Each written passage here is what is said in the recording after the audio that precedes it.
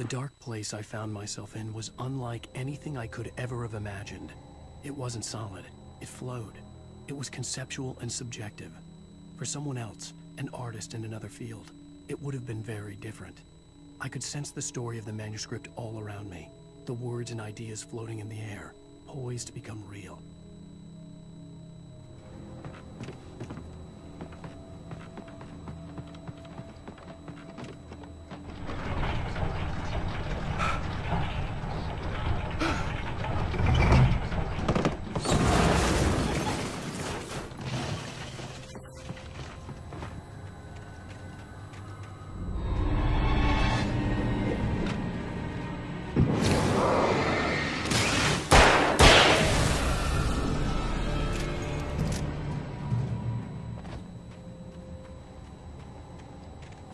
Could see Mirror Peak in the distance.